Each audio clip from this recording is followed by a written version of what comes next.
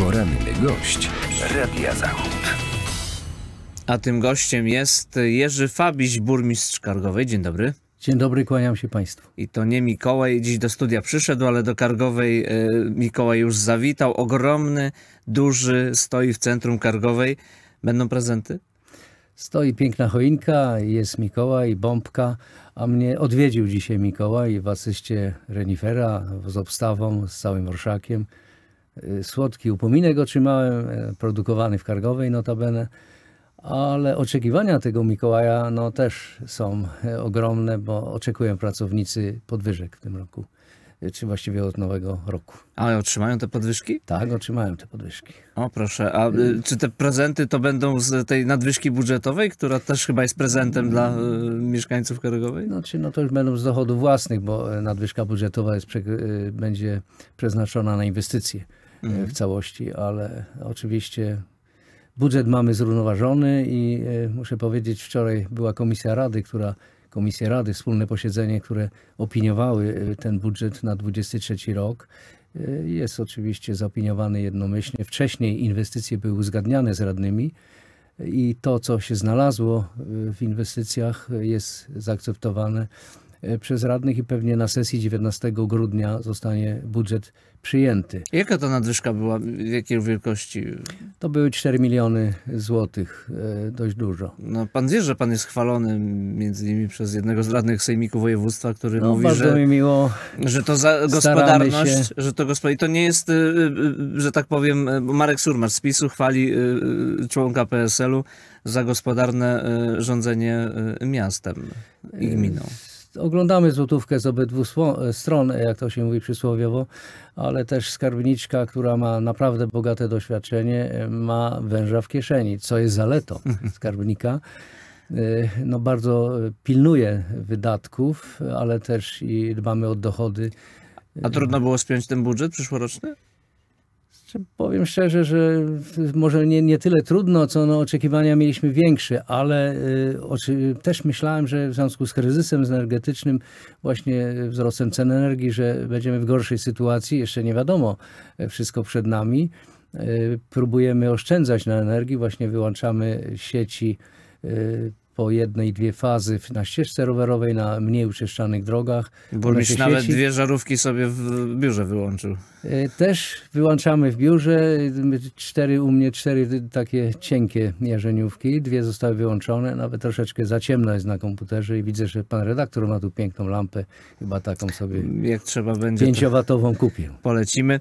E, Natomiast przejdźmy do spraw e, dotyczących środków. Właśnie pod koniec listopada w Urzędzie Wojewódzkim odbyła się konferencja podsumowująca program inwestycji strategicznych Polski Ład, na której przedstawiono założenia do drugiego naboru programu rozszerzonego o projekty m, dla gmin popegierowskich. Był e, także czas na spotkanie z wojewodą i rozmowę o potrzebach gminy i jakich priorytetach inwestycyjnych rozmawialiście.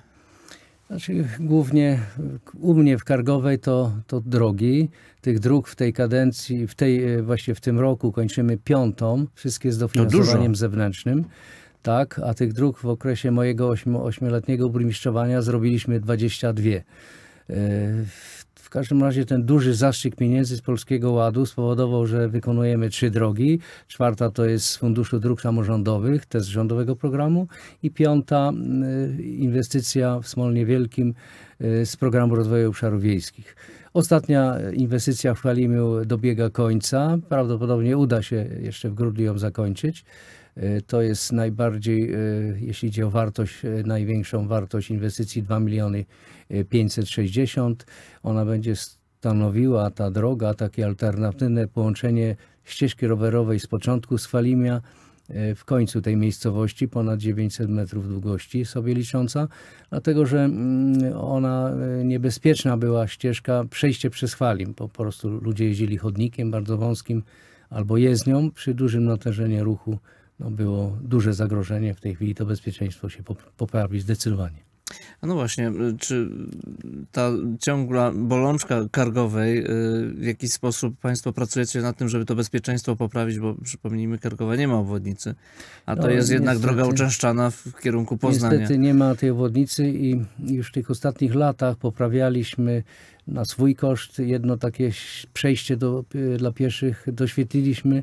W tym roku Generalna Dyrekcja kilka doświetliła, a my wymieniliśmy lampy, wszystkie lampy w ciągu tej drogi krajowej która no, przez Kargowe to jest około półtora, może nawet dwóch kilometrów długości, wymieniliśmy na LEDowe, energooszczędne i lepiej doświetlające. No i otrzymaliście także środki na realizację budowy miasteczka rowerowego. Może to też poprawi bezpieczeństwo dzieci i młodzieży. Tak, poprawiliśmy. Tam punktowane było właśnie bezpieczeństwo, dojście dzieci do szkół i będą wyniesione przejścia dla pieszych, czyli takie spowalniacze niejako, e, przy samej szkole, e, przy ulicy e, Piaskowej. Także przy ulicy Kościelnej, przy ośrodku zdrowia, gdzie, gdzie jest ciąg komunikacyjny, się y, młodzież przemieszcza i przechodzi, i drugie przy przedszkolu na ulicy Browarnej, i trzecie przy, na, na Browarnej. Ale poza tym powstanie, e, powstaną trasy rowerowe, skrzyżowania, przejścia dla pieszych na terenie szkoły. Jest tam taki teren e, trochę porośnięty drzewami. W części zostanie, e, zostaną te drzewa wycięte i, no i w drugiej części roku zostanie ta inwestycja zrealizowana. Oczywiście z dofinansowaniem, bo gdyby program operacyjny nas nie wspomógł, nie byłoby możliwości. A dodam jeszcze, że nauczyciele, uczniowie też zabiegali o powstanie miasteczka rowerowego na terenie szkoły. To jest jak gdyby szerszy projekt, ale bardzo potrzebny będzie przynajmniej poznają i dzieci, i młodzież starsza, jak się zachować bezpiecznie na drodze. Wiem już, że w Kargowej akcja dystrybucji węgla e, ruszyła. E, e, panie burmistrzu, pan jest z PSL-u. Czy jako przedstawiciel opozycji miał pan problem z tym, żeby się taką dystrybucją węgla w swojej gminie zająć? No tutaj może barwa nie jest ważna, przynależność partyjna. My służymy mieszkańcom i kiedy ta inicjatywa się pojawiła, natychmiast do niej przystąpiliśmy i myślę, że nawet byliśmy jedni z pierwszych, gdzie ta sprzedaż w takich mniejszych gminach już ruszyła. Zostało sprzedane już 100 y, ton. W dwóch miejscach ta dystrybucja się odbywa, węgiel groszek i węgiel orzech. Y, no, pojechały kolejne ciężarówki, w tym razem zostały skierowane do Szczecina, ale już zamawiamy, żeby z Witnicy bliżej odebrać kolejne tony i myślę, że w tym roku 200, może, może 225 ton y, sprzedamy, bo tak wynika ze mhm. złożonych wniosków i z aktywności tych, którzy te wnioski złożyli. Czy tego węgla brakuje? Czy tych zamówień jest więcej niż y, to, co przywozicie? Czy, czy macie nadmiar? Mm, obawialiśmy się na samym początku, że o dużo więcej tego węgla będzie potrzeba zabezpieczyć, a wynika to no, chociażby z tej rozbieżności wypłaty, z wypłat dodatków węglowych, a tego, co już wnioski konkretne mieszkańcy złożyli. Także nie jest źle i myślę, że, że damy radę, że nie zabraknie opału, a naprawdę się martwiłem wcześniej, jeszcze miesiąc, może dwa temu, co ja powiem e, starszej osobie, która do mnie przyjdzie po opał. Ale to akcja taka szeroka, nawet tam proboszcz słyszałem się włączył w informowanie o dystrybucji węgla. Y, oczywiście wszystkimi kanały, kanałami y, informacyjnymi staraliśmy się dotrzeć z tą informacją do, do mieszkańców, także proboszcz ogłaszał, często wykorzystujemy proboszcza, żeby takie ważne informacje były przekazywane mhm. z ambony. Y, y, panie burmistrzu, y, dopytam w takim razie jeszcze pana o, zintegrowane inwestycje terytorialne. Ostatnio trwa taka dyskusja. Duże miasta w ZIT-ach połączone w tych czterech obszarach, miejskich obszarach funkcjonalnych chcą, żeby na te ZIT-y były przeznaczone więcej środków, ale także na całe y, i partnerstwa i ZIT-y właśnie y, te środki y, wiemy, że już będą wynosić 184 euro na osobę. Zielona Góra chciałaby, żeby to było porówno także dla partnerstw, dla wszystkich po 300 euro. Pan jak do tej propozycji się odnosi? Ja też bym chciał więcej. Wiadomo, że żeby mieszkańcy oczekują inwestycji. I żeby to była gwarancja, krótko mówiąc, a nie jakiś konkurs, z którym nie wiadomo, czy wygramy. Tak, no bo ja od dawna mówię, że powinno być per capita, tak jak dzielone są pieniądze z PIT-ów, z CIT-ów. Wiadomo, że większe miasta są osiami rozwoju. Zielona Góra, tak jak w Kargowej, e, Kargowa jest taką osią rozwoju naszej gminy i, i powinna być e, no, wyższa kwota na inwestycje przeznaczona i w mieście, i w Zielonej Górze, i, i w Kargowej, i w każdym innym mieście, Sulechowie. Ale no, ten podział no, to trzeba uzgodnić, trzeba się domówić. Bardzo mi się podobała ta ostatnia dyskusja, że, że tutaj Zielona Góra zabiegałem o 300. Nie wiem, czy to się uda. E, w każdym razie ja znam ten program operacyjny, podzielone środki. Byłem na konferencji nie tak dawno i wiem, że te 184 euro Jesteśmy w takim partnerstwie terytorialnym z ośmioma gminami, dojdzie dziewiąta przytoczna, w takim pasie, który sąsiaduje z Wielkopolską. I tutaj przygotujemy strategię terytorialną, przygotujemy też inwestycje, jakie my byśmy jako Kargowa chcieli wmontować w to partnerstwo i skorzystać z dofinansowania. Na pewno będą to ścieżki rowerowe. E, to ja użyję trzeci raz tego słowa. Jest pan członkiem Polskiego Stronnictwa Ludowego. Nam ciężko ostatnio zaprosić kogoś z PSL-u, a ostatnio odwołano dyrektora Wojewódzkiego Urzędu Pracy, który podlega pod marszałka Poryckiego, e, także z PSL-u. Nie, komentuje tego, nie komentują tego marszałkowie. No to pana zapytam, co się mówi o tej sprawie w, w pana środowisku?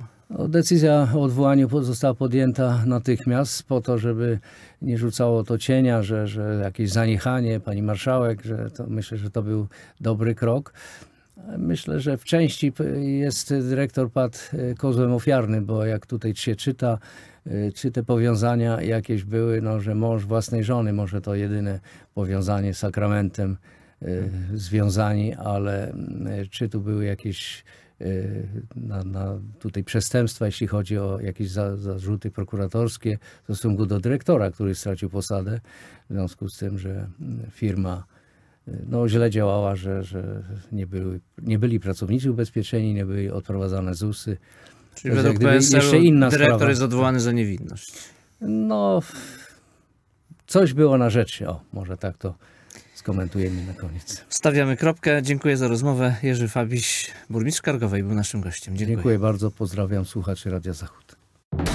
Lubuskie, Polska i świat. Jeszcze więcej publicystyki na zachod24.pl